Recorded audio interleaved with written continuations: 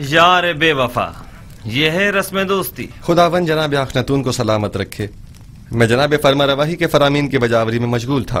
कौन फरमा रवा? कैसे फरामीन? ये तो वो ज़िम्मेदारी है जो आपके खुदा ने आपको सौंपी है ना कि मैंने। फरमा रवा हकीकी तो वो है और वही है जिसने आपको मर्दम मिस्र की निजात के लिए भेजा है। और हमारे बिना रूस कैसे हैं? दरूद भर अज़ीज़ मिस्र जनाब युजार सीफ ताज्जुब की बात है। जनाब युजार सिफ को अपने कदीमी दोस्त तब तक याद हैं। भूल जाना हमारा शेवा नहीं। हाजिर खिदमत हूँ ताकि कहीं भुला न दिया जाऊँ। मैं यहाँ इसलिए आया था ताकि तमाम उमूर की गुजारिशात पेश कर सकूँ। यकीनन गोदामों की तामीर और गंदम की जखीरा साजी से मुतालिक मसाइल होंगे। या शायद जरूरतमंदों और काश्तकारों से मुतालिक और या फिर काहिनान माबद और उनकी सरकशियों से मुतालिक। एक जिम्मेदार शख्स को जिम्मेदारियों की अंजाम दही के सिवा और क्या काम हो सकता है? बिलाशुबा ये बहुत अहम मसाइल हैं। मिस्र के इन मसाइल को बाद के लिए उठा रखें। फ़िलहाल हमने आपको किसी और मकसद के तहत यहाँ बुलाया है। लेकिन मुझे तो गंदम की जखीरा साजी और काहिनों की साजिशों से मुतालिक बहुत कुछ है जो आपके गोश गुजार करना है। मुझे यकीन है कि आप न सिर्फ़ मिस्र को दरपेश मसाइल से बखूबी निमट सकते बल्कि काहिनों और उनकी साजिशों से भी। वैसे भी इन उमून पर बाद में बात की जा सकती है। आप आमून और उसके माबद के लिए मंसूबे बनाइए और मैं और अखनातून आपके लिए। खुद को ज़्यादा जहमत में मत डालें। हमने फैसला किया है कि आपको इस मुजर्रदी और तन्हाई की ज़िंदगी से निजात दिलाएँ। अच्छा तो असल बात यह है अब तक मैंने शादी के हवाले से सोचा नहीं।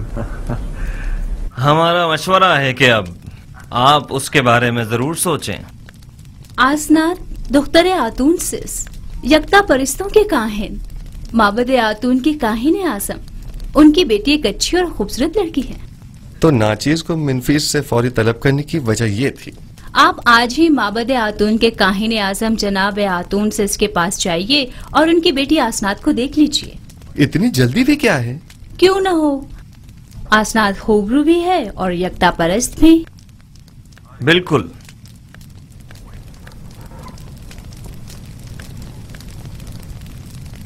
आपको जल्द अज जल्द शादी करना होगी। ये एक हुकूमती फरमान है और इस पर फौरी अमल दरामद होना चाहिए। जी ज़रूर आली जनाब। ज़रूर।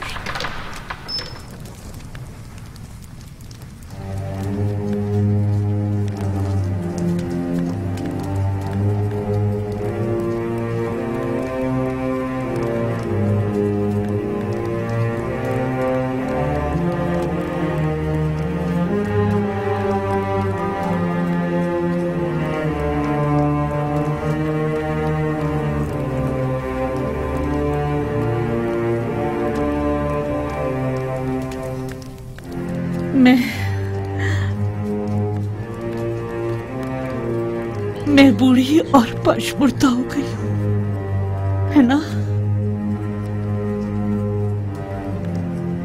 मैंने चेहरे और पेशानी की छुरियाँ देखी।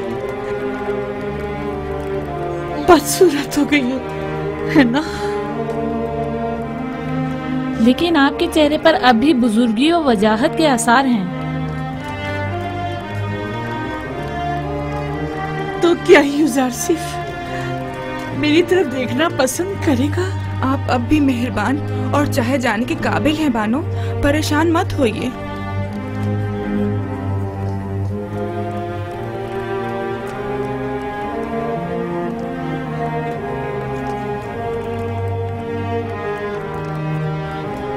नहीं यूजार सिर्फ़ खूबरू और जवान है। वो मेरी तरफ़ निगाह ही नहीं करेगा।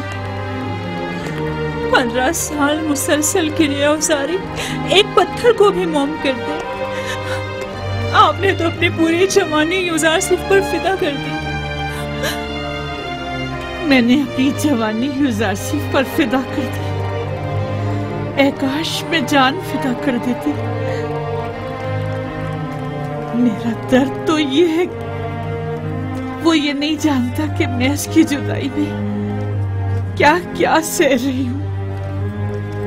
काश वो ये जान पाता।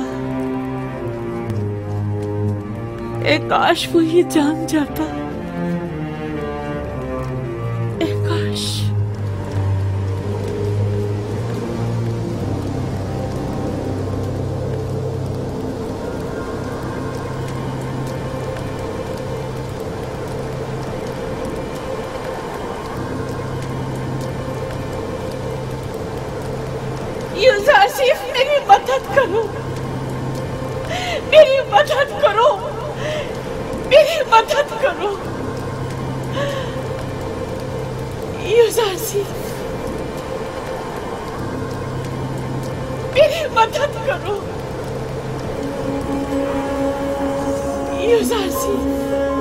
मदद करो आप कौन हैं? मुझसे क्या चाहती हैं?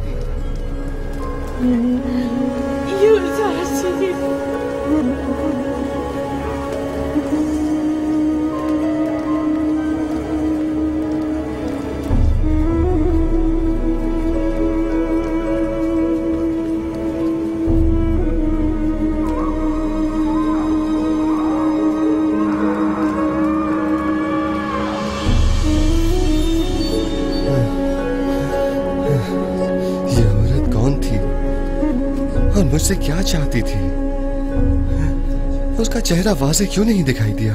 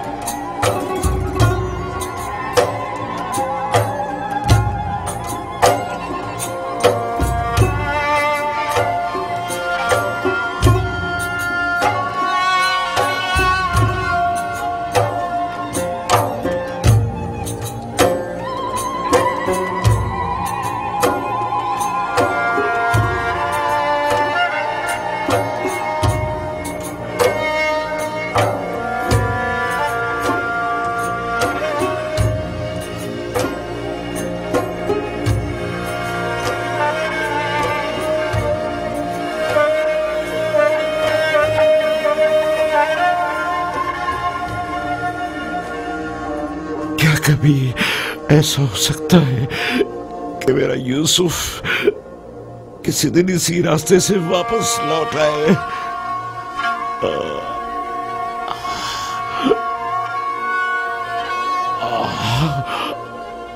खुदा बंदा जे मेरा यूसुफ वापस लौटा दे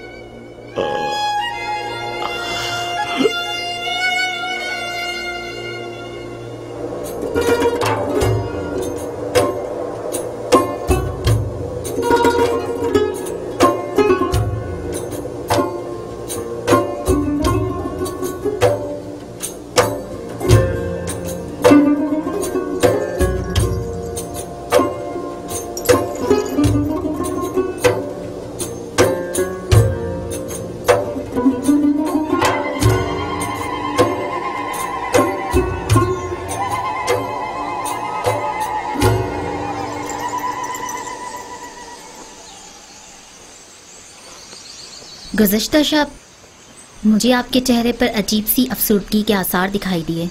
मैं इसकी वजह पूछ सकती हूँ? बाप की दूरी की वजह से। काश आज वो मेरे पास होते। तकरीबन तीस साल होने को आए मैं उनसे दूर हूँ और हर रोज मेरी रूह उनकी जाने परवास करती है। मगर वो कहाँ हैं? आप उनसे मिलने क्यों नहीं जाते? या उन्हें अपने पास क्यों नहीं बुला लेते? दरअसल मेरा किनान से ताल्लुक है और यहाँ से एक माह की मुसाफत है। मैंने बारहा चाहा कि उनसे मिलने जाऊँ और उन्हें अपने हालात से बाखबर करूँ, लेकिन शायद अभी उसका वक्त नहीं आया। अभी अहले मिस्र को मेरी अशद ज़रूरत है और वो इस वक्त मुश्किल में है। इन्हें जिस्मानी और रूहानी गज़ा की ज़रूरत है और मैं अब तक उनके लिए कुछ नहीं कर पाया। मुझे खौफ है अगर मैं अपने बाबा और दीगर अहल खाना के फ़िक्र में रहा तो अपने फ़राइज़ की दुरुस्त बजावरी से गाफिल न हो जाऊँ और मुझ पर आयद ज़िम्मेदारी नामुकम्मल न रह जाए। लेकिन कब तक?